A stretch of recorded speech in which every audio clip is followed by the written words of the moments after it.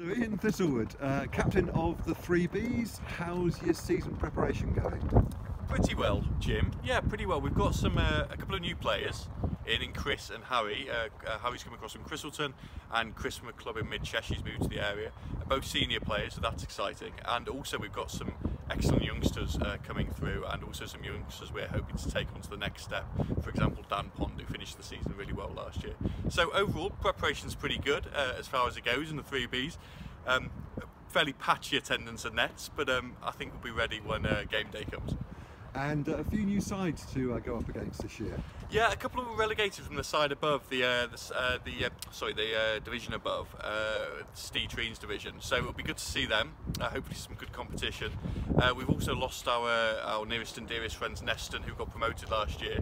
So um, yeah, we're looking forward to um, to hopefully getting our own promotion this year. And the usual selection headache with Mr. Treen.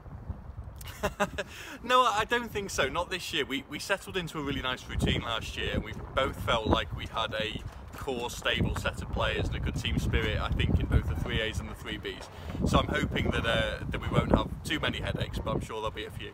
Brilliant. And a good season last year, so aspirations for this year? Aspirations are to get promoted. Well, actually, aspirations are to win the league. Um, secondly, to get promoted. Um, but really, I think most importantly, our job is to uh, play competitive cricket, but also bring on some of the youngsters. And I'm really delighted to hopefully see uh, Noah Vickery and Matt Brain playing at a higher standard this year after uh, hopefully our professional tutelage last season. And uh, any message for aspiring youngsters looking to break into senior cricket? Yeah, I'd say that attitude is as important as aptitude uh, when you're playing playing for us. Uh, we've got lots of talented young cricketers. The thing that really sets apart the ones who go on to make success themselves at senior cricket is all about attitude, and that means trying hard and not being scared to fail, um, being part of the team, uh, and paying attention in the field. Uh, really basic stuff, and of course collecting team money as well is pretty important. Great, well have a great season. Thanks very much Jim. Thanks.